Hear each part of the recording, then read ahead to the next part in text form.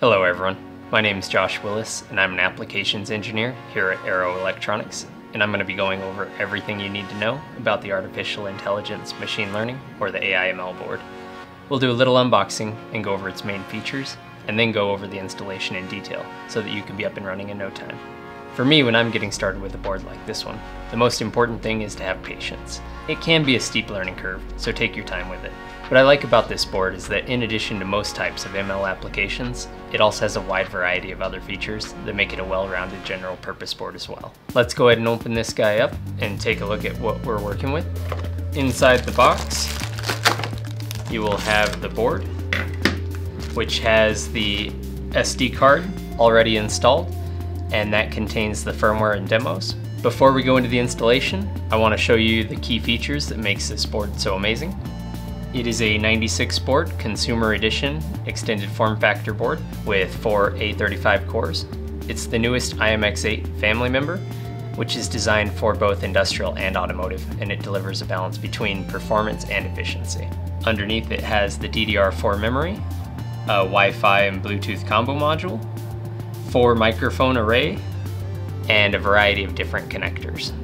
It has a high speed and low speed expansion header, which allow a variety of 96 board compliant mezzanine cards to be used, USB 2.0 and 3.0, and OTG, as well as a debug USB port, an HDMI connector, power and reset buttons, an Ethernet connector, and a PCIe connector to allow the addition of an LTE modem. Alright, now that we've gone over all the features, let's get it up and running. Before we get started with this board, here are some things you'll want to have on hand.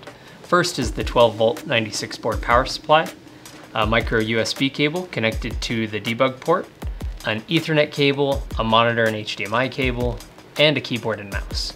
For this particular demo, you'll also need a camera. We can use a webcam or one of the supported camera mezzanine cards that's listed in the user's guide. Today we'll be using the D3 camera mezzanine card. After everything's connected, go ahead and power on the board with the reset button and you should see the light turn green as well as the boot process in your on your PC as well as the external monitor. Some common issues you might run into is if this light stays blue instead of switching to green, that could indicate that the SD card has not been properly inserted or is not properly formatted. Another common issue is having an out-of-date image.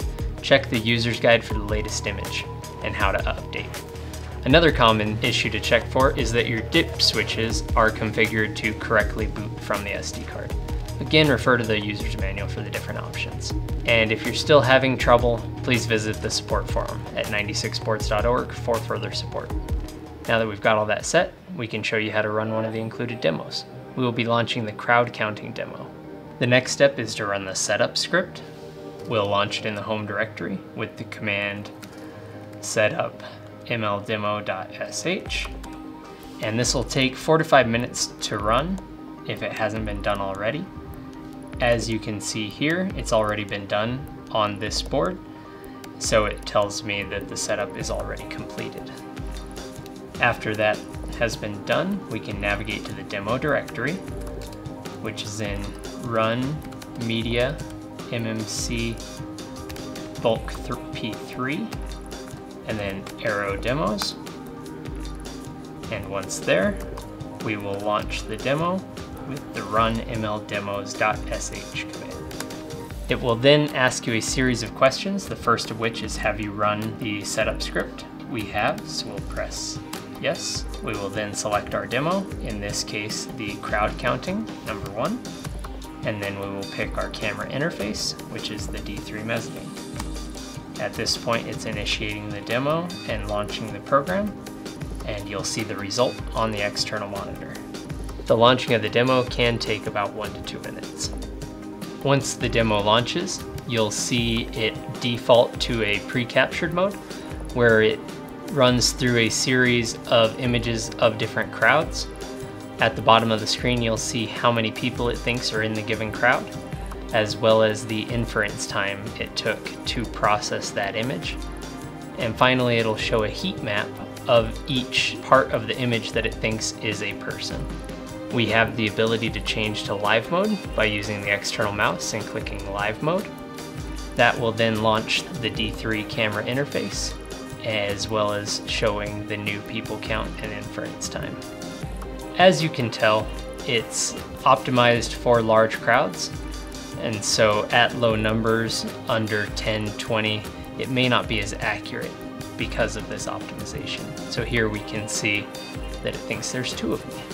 That should give you a good understanding of this board and its capabilities. On behalf of Arrow Electronics, I'd like to thank you for purchasing our AIML board, and we'll see you next time.